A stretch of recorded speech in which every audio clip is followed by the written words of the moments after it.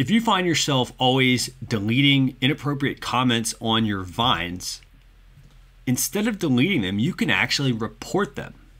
And you want to do this so that one, Vine is made aware of this, and two, your stream is not interrupted by this inappropriate material.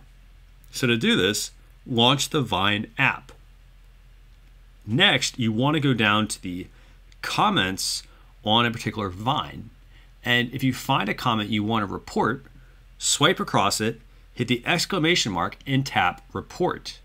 This will then report that comment to Vine. So that's it, guys. That's how easy it is to report comments and clean up your vines. So if you have additional questions on this, feel free to leave them in the comments below. And by the way, don't forget to subscribe to my YouTube channel for additional Vine tips.